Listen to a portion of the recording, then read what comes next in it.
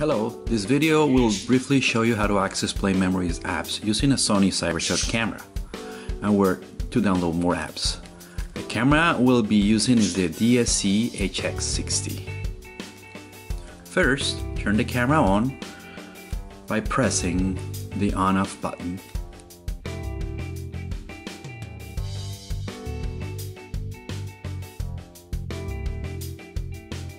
Six icon squares will appear after pressing the menu button.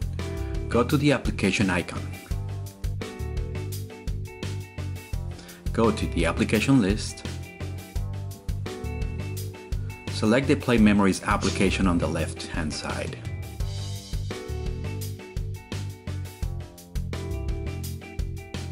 The camera will search for a Wi-Fi network. Once you connect to the network, you will see all the apps available and ready to download. Some apps are free, some apps you need to pay a small fee. For the purpose of this video, we'll simply download a free app to the camera.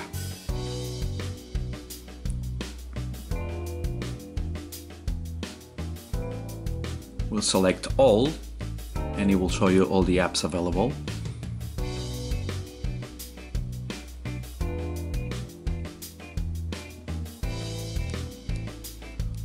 We're going to select picture effects.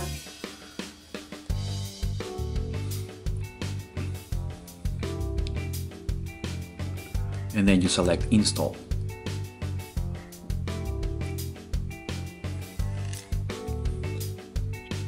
After selecting install the camera will ask you for your uh, play memories account or will ask you to sign in on it. You'll need to create an account in order to download the app to the camera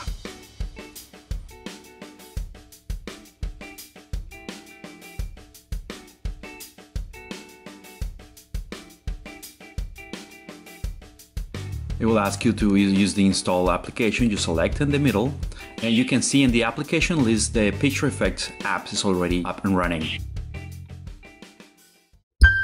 Sony. Even if it's easy to connect your phone to your camera using Wi-Fi, NFC makes it a breeze. Make sure NFC is activated on your phone. Locate the NFC symbol on both devices